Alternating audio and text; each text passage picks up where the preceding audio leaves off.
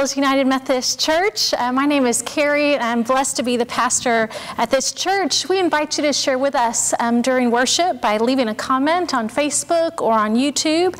And if you're watching on Facebook, I want to invite you to share this post um, so that others can worship with us. So it's at the bottom right of your screen. Um, you'll just push share, and um, it's the new way to invite people to church. If you or anyone that you know is in need of support, please reach out. Uh, my email is ksmith at greenlandhills.org. I want to let you know that we have made the decision, to, due to the surge in coronavirus cases in Dallas County, to suspend all in person church activities until December the 1st, and then we'll reassess. So um, there's not going to be any more um, in person outdoor worship or in-person youth gatherings or the in-person uh, teen youth uh, teen girl gatherings. Um, until then, there are links to different Zoom gatherings at the bottom of your bulletin, including Sunday school for our children and youth, Tuesday book group, and our choir. And we hope that you have a fun, safe, delicious uh, Thanksgiving this Thursday. I want to share with you um, that I was asked to read this letter by our bishop, um, Bishop Mike McKee of the North Texas Conference. He asked that this letter be read in all churches, um, United Methodist churches today. He says the ongoing crisis of the COVID 19 virus has brought, brought pleas from public health officials to our community. In a recent meeting, faith leaders were asked to warn our congregations of a possible spike in the number of cases in the coming days. They have discovered that the increase in cases we are seeing comes from social gatherings where people feel safer and do not heed the healthcare community's warnings to wear masks and practice social distancing, especially during family gatherings and large social events. Currently, more positive COVID 19 cases are being reported than at any time since the pandemic first began. This is true nationally in Texas and in all counties across North Texas, regardless of size. We do, however, have the ability to contain the spread of this virus by wearing masks, by washing hands, and maintaining proper social distancing. I ask that you please heed the, the advice of and defer to the recommendations of public officials and health practitioners who are the most knowledgeable about this virus so that our communities can return to a place of good health. As people of faith, we place a considerably high value on how we live together in community. This is a critical tenet of who we are as United Methodists. We must realize how our actions can affect our church community and the broader communities in which we live. We must act in ways that show our love for one another and lift each other up. Specifically, we must not do anything that could conceivably harm others, intentionally or otherwise. We will wear masks, we will practice social distancing, we will do no harm. For more than eight months, we've been challenged in ways that many of us could never have imagined. Thank you for your perseverance and faithful witness, which has made us a stronger church. May you have a blessed Thanksgiving. Peace. Bishop Michael McKee. I want to give thanks to Leanne Hicks um, for our altar flowers this morning. She gave them in thanksgiving for our Greenland Hills community.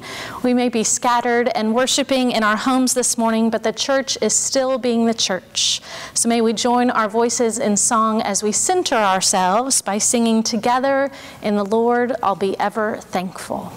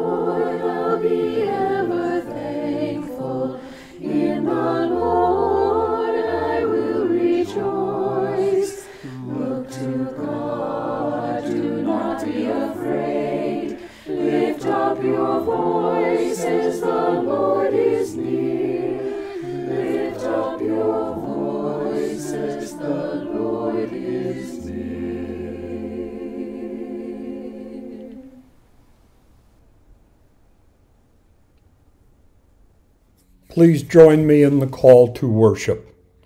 We come for God gathers us here with the community called faith, where the hungry are served first, where the thirsty drink life's water. We come for God's welcomes us here into the home called grace, where the naked are clothed in robes of hope where the stranger is embraced as the long lost prodigal. We come for God's reunites us here, sisters and brothers in the family called love, where the imprisoned model justice, where the sick are cradled in God's peace. Amen.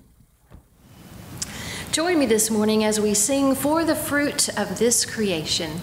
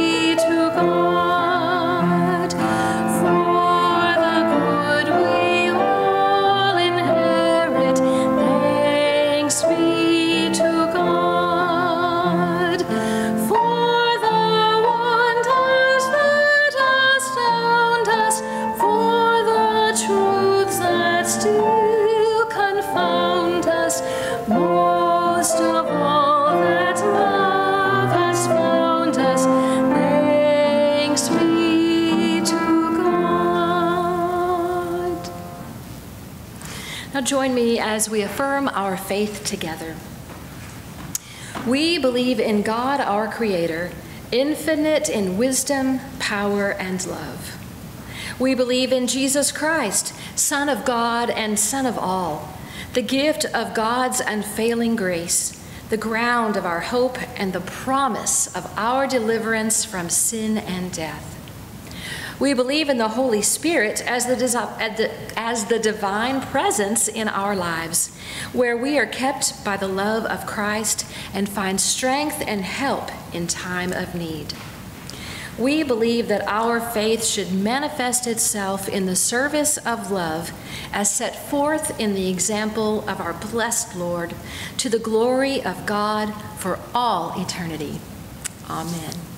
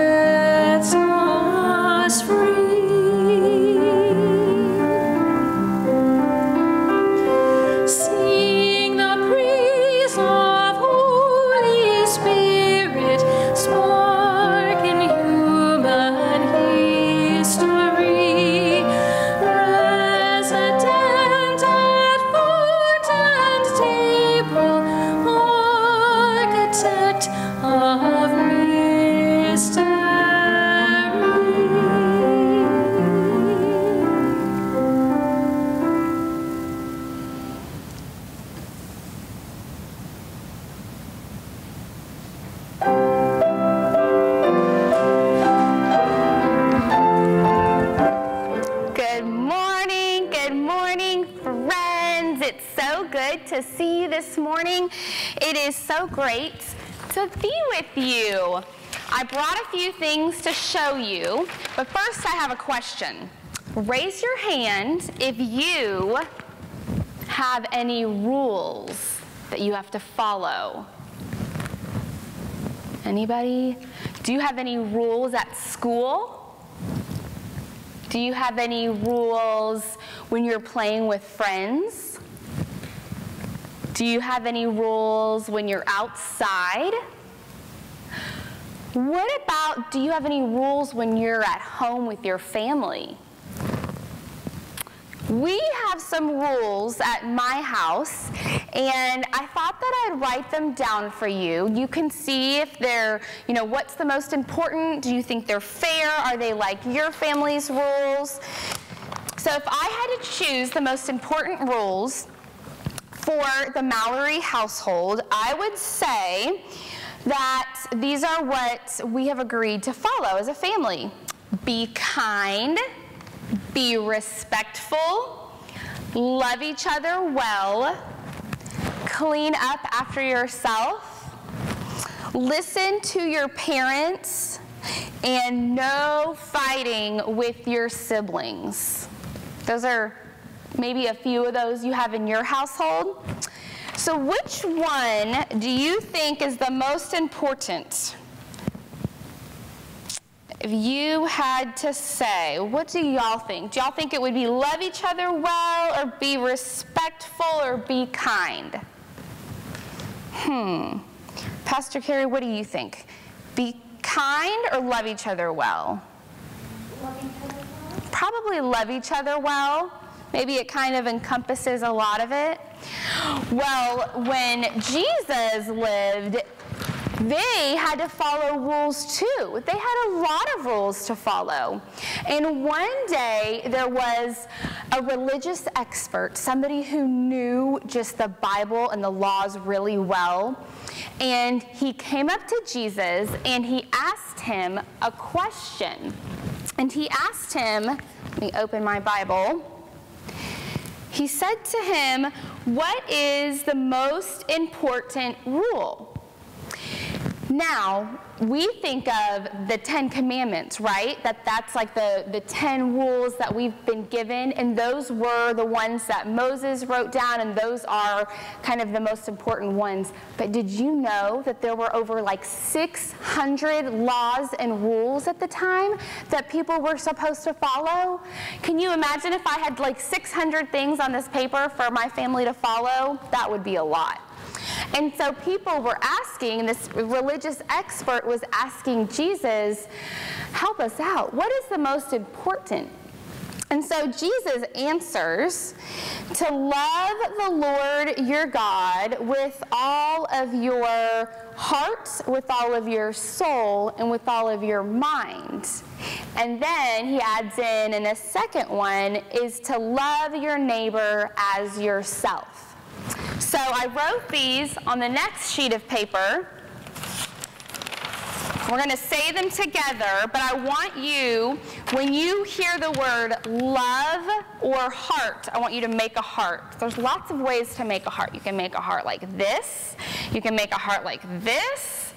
You can make a heart like this. You can get creative, okay? So we're going to say them together. Love the Lord your God with all your heart, with all your soul, and with all your mind. And number two, love your neighbor as yourself.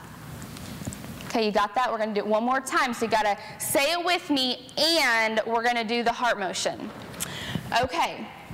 Love the Lord your God with all your heart and with all your soul and with all of your mind. And love your neighbor as yourself. So Jesus, out of all of those laws, narrows it down to two. And it narrows it down to kind of what we picked together and what Pastor Carrie said for my family, loving each other well. Jesus says, out of all those laws, I want you to love God with all that you are and to love your neighbor. We talk a lot about who is our neighbor. Is it the person next door? Well, maybe it can be, but it's also everybody around us and everybody that we come in contact with. So, as a lot of us have this next week off of Thanksgiving break, I want you to think about what that looks like in your life.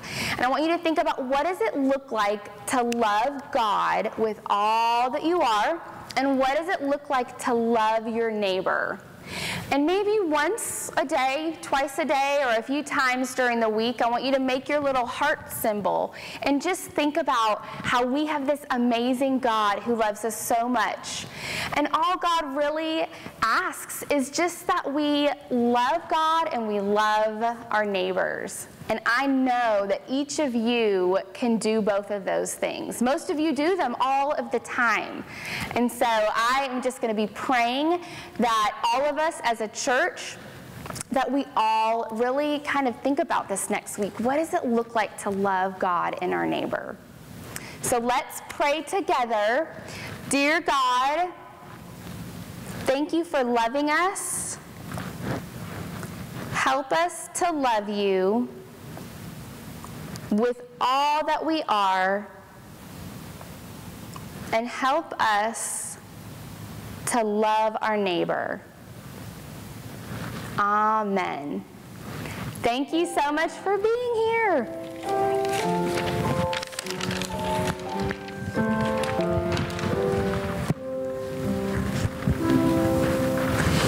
Now join me in singing Love the Lord Your God.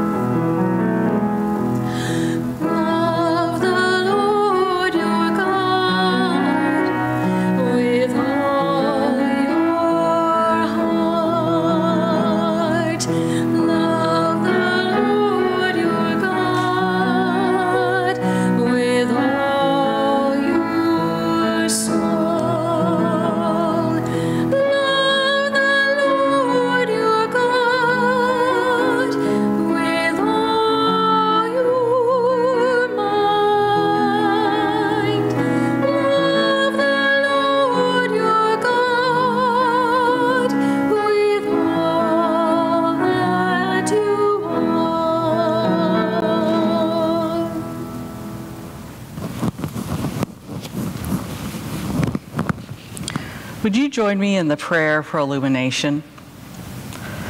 Gracious Spirit, who is, was, and is to come, bless us with your wisdom as we gather around your word. Help us to hear what you are saying to your church this day. Amen. Good morning. Our scripture reading today comes from Deuteronomy 6, verses 4 through 9. Hear, O Israel, the Lord our God is the Lord alone. You shall love the Lord your God with all your heart, and with all your soul, and with all your might. Keep these words that I am commanding you today in your heart. Recite them to your children and talk about them when you are at home and when you are at away, when you lie down and when you rise.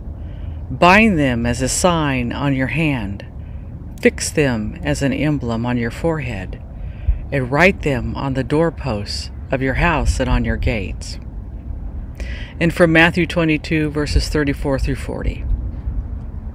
When the Pharisees heard that he had silenced the Sadducees, they gathered together, and one of them, a lawyer, asked him a question to test him Teacher, which commandment in the law is the greatest? He said to them, You shall love the Lord your God with all your heart, and with all your soul, and with all your mind. This is the greatest and first commandment. And the second is like this You shall love your neighbor as yourself. On these two commandments hang all the law and the prophets. Before we get started, I want to share a short video with you, a little over three minutes long, regarding the Shema, which is the scripture we just heard in Deuteronomy 6. This comes from the Bible Project. It's a good group, I think, that does an excellent job of explaining the historical significance of this passage of passage, excuse me, of scripture. So let's take a look at the video. For thousands of years, every morning and evening, Jewish people have prayed these well known words as a way of expressing their devotion to God. They're called the Shema. Hear, O Israel, the Lord is our God, the Lord is one. And as for you, you shall love the Lord your God with all of your heart, with all of your soul, and with all of your strength. Now, the first word of the Shema is hear or listen, which in Hebrew is pronounced Shema. That's where the prayer gets its name. Now, Shema is a really common word in the Hebrew Bible, and it's obvious why. Hearing is a very universal activity.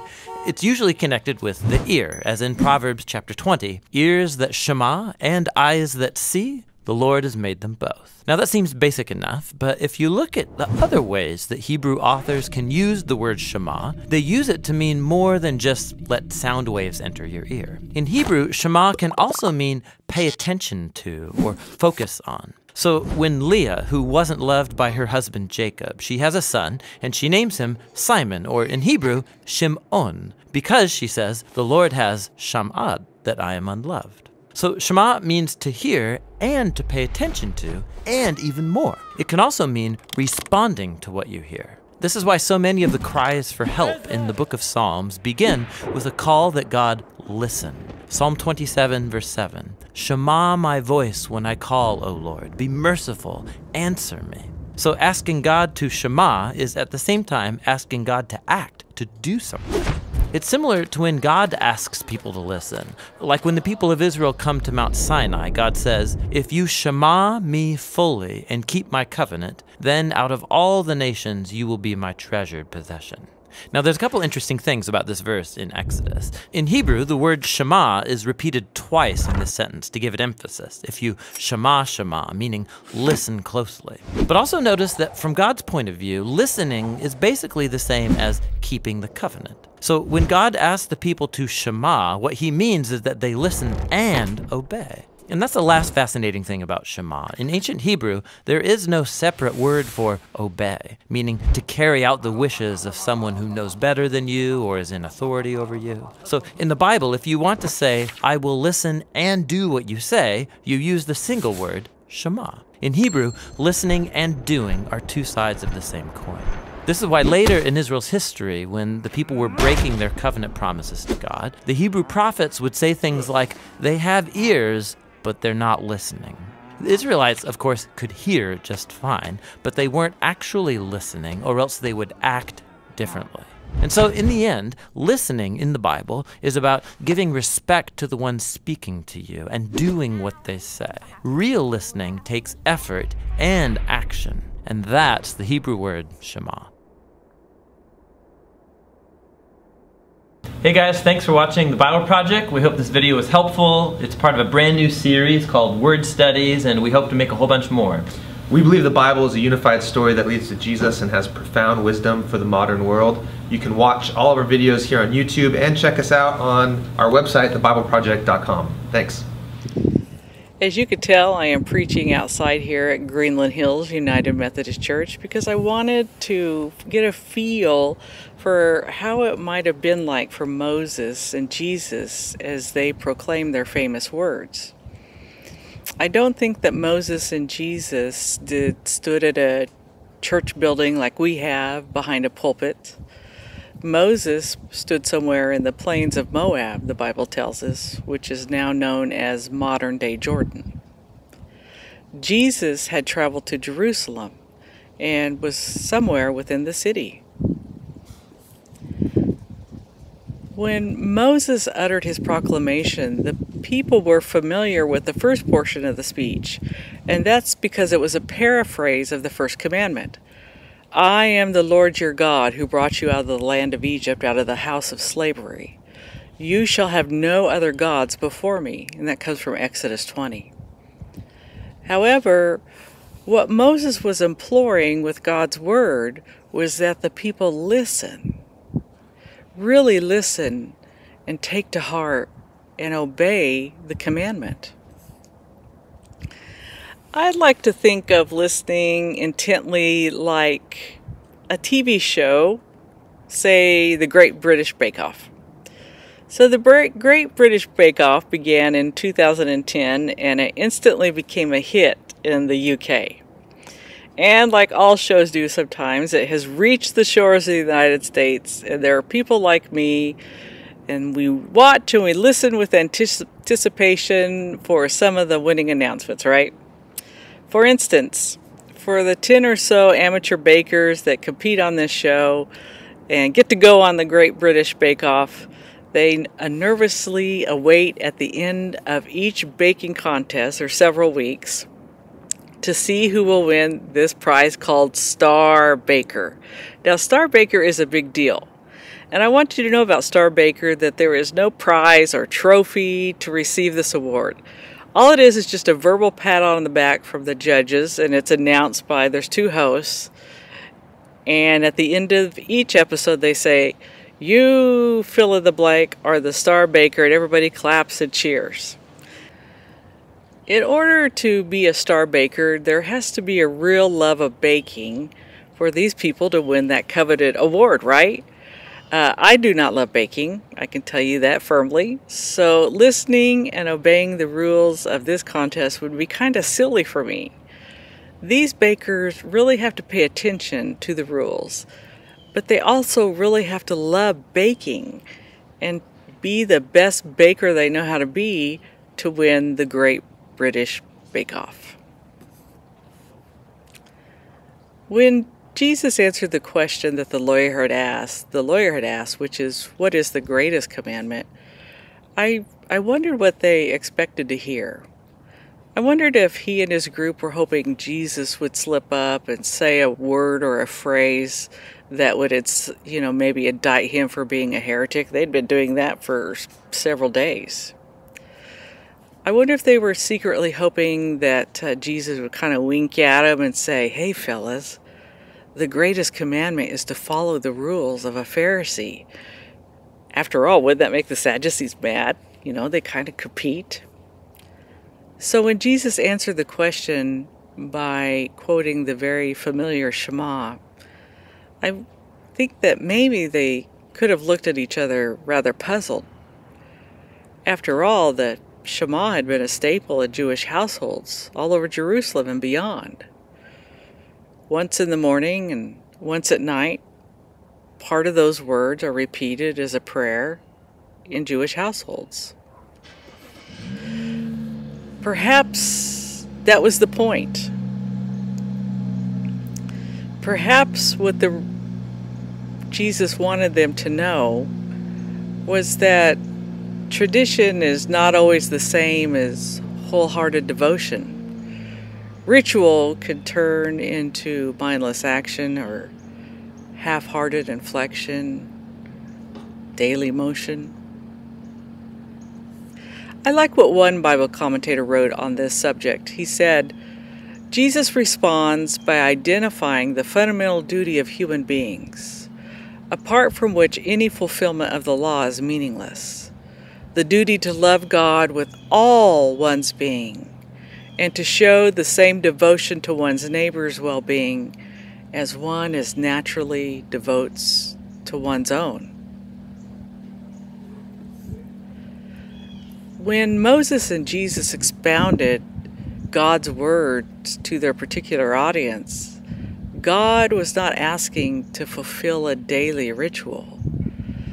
God was asking for more. He was asking for devotion for people's hearts, for their minds and their souls to cling to God and live lives through God, not just because it is a check mark on a to do list. So, you remember the Great British Bake Off? Let's say someone entered the contest, was chosen to be on television, but really did not like baking. And let's give this person a name. We'll call him George for no reason. And George won a coveted spot on the TV show. Here's the truth though George, he really doesn't like baking. The only reason he got on this show is because his family kept saying, George, you're such a great baker. You should try out for the Great British Bake Off. And finally he relented and said, Okay, okay, I will do this. And lo and behold, he got on the show. So there's George, and, and on one of the competition days, the participants were asked to make a three tiered cake with beautiful, lifelike flowers made out of buttercream frosting. So George and his fellow bakers, they all feverishly start to bake. Except George, he's he's baking, but he's just kind of ticking off the marks on his sheet of to-do lists. And when the presenters bring their creations in front of the judges, most are nervously awaiting the judge's decision. That's nine of them anyway are wondering who is going to be star baker.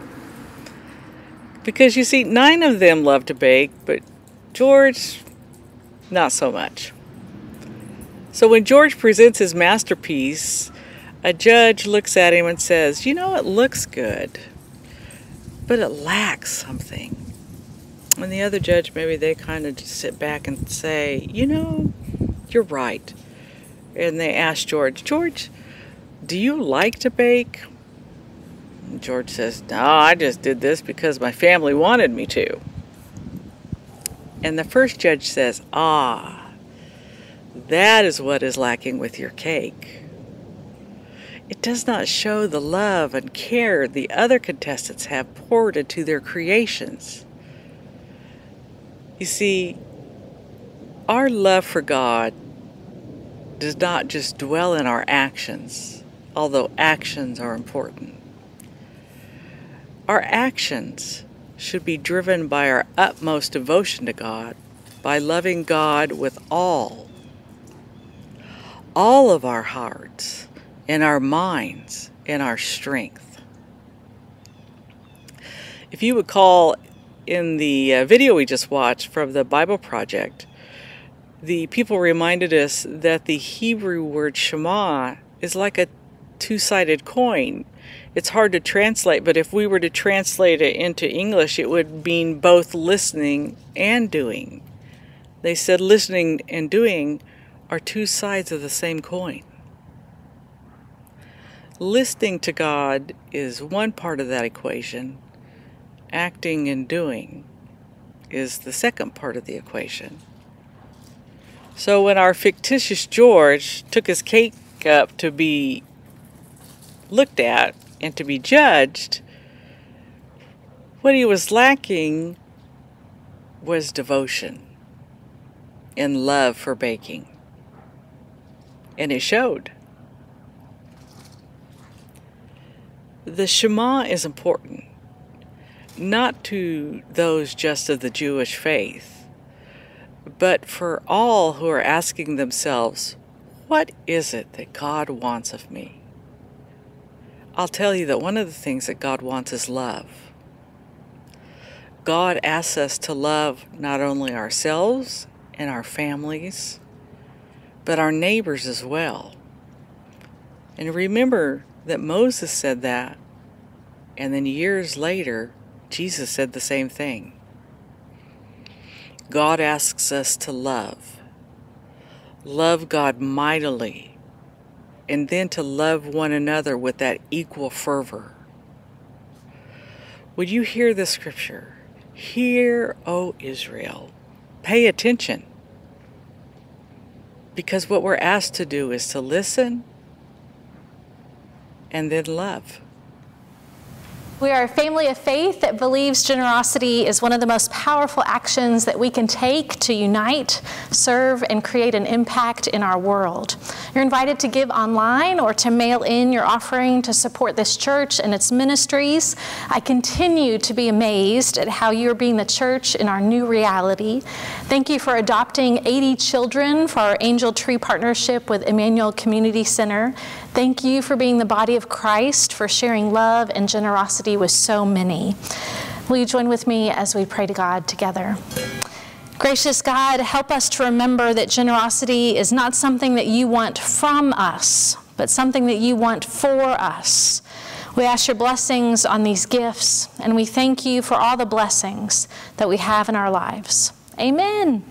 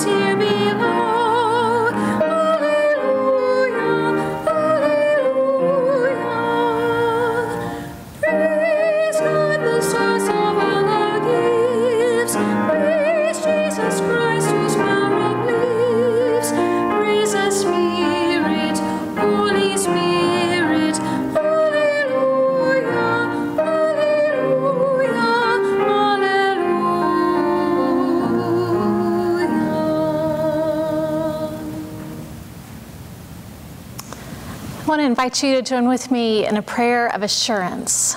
Let us join our hearts in prayer. In the name of Jesus Christ, who brings peace and hope to us, we are forgiven, healed, and enabled to be part of the ministries of compassion in God's world. Rejoice. You are chosen and loved. Amen. And now, with using words that are closest to your heart, I invite us to join our voices in praying the Lord's Prayer together as we pray. Our Father, who art in heaven, hallowed be thy name. Thy kingdom come, thy will be done, on earth as it is in heaven. Give us this day our daily bread, and forgive us our trespasses, as we forgive those who trespass against us and lead us not into temptation, but deliver us from evil. For thine is the kingdom, and the power, and the glory forever. Amen. Our closing song today is God for Our World We Sing. May we sing with hearts full of joy.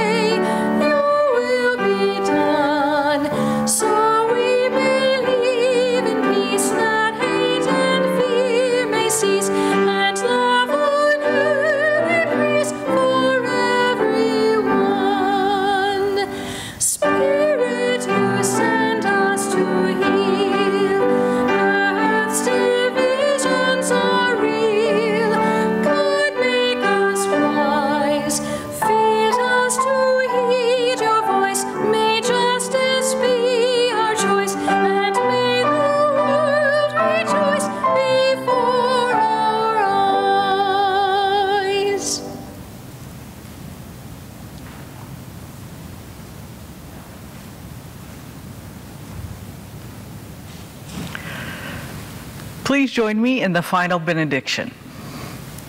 We come, for God gathers us here with that community called faith.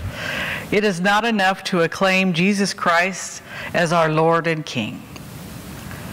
Our mission in life is to make Christ's kingdom a reality among us and to bring it to those around us by our words and deeds.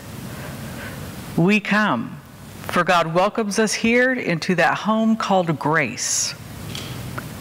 The way to do this is to live as Christ lived, for others in love and service.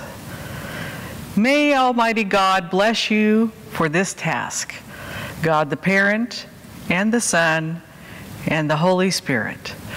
That everyone said, Amen.